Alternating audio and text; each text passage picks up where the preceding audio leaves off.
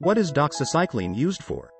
Are you tired of dealing with persistent bacterial infections? Look no further, because today we're going to talk about the incredible antibiotic, doxycycline. This medication has been known to effectively treat a variety of infections, from respiratory tract infections like pneumonia, to sexually transmitted infections such as chlamydia and gonorrhea. Not only that, but it's also used for the treatment of Lyme disease.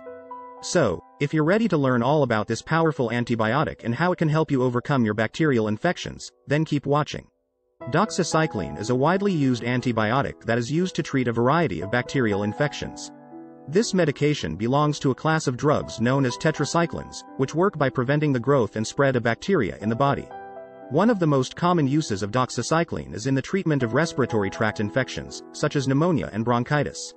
It's also effective in treating skin infections, urinary tract infections, and Lyme disease.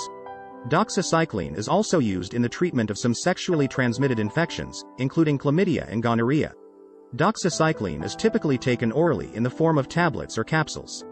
The usual course of treatment lasts between 7 and 14 days, but it may be longer depending on the nature and severity of the infection.